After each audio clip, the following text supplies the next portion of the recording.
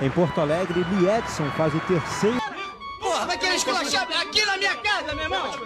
Qual foi o maior finalizador que você Eu. já viu? Eu. Paradamente. Entrou no ônibus agora, não, tá nem em pé, quer sentar na janela. É isso aí, agora a corte tá toda feliz, o rei, o príncipe e o bom. quem fala o que quer, ouve o que não quer. Tá aberta aí a Era Romário Campeonato Carioca. Ô Lele, ô Lala, o Romário vem aí e o bicho vai pegar. Depois do jogo, no dia seguinte, eu não treino. E quando tem dois períodos, eu só treino um. Se não chegou a ele, o problema não é meu. Já não venho desde janeiro.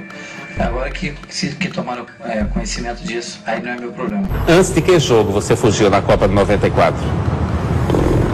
Acho que do primeiro jogo eu fugi e do terceiro. Partiu, Romário partiu, bateu! Gol! Ninguém viu.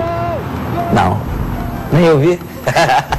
Você confessadamente já fez sexo a bordo de um avião.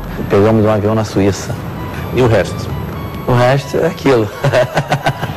Se você fosse fazer um ranking dos cinco melhores jogadores da história do futebol brasileiro, em que posição você colocaria Romário? Colocaria em primeiro. Afonso Alves. Nunca ouvi falar, irmão. Nem conheço. Só falo de que eu conheço. Direto de esquerda no rosto do argentino Simeone. O Simeone é um jogador argentino. Me chutou e eu revidei, e o juiz viu e me expulsou. Você achou justo? Foi justo, correto.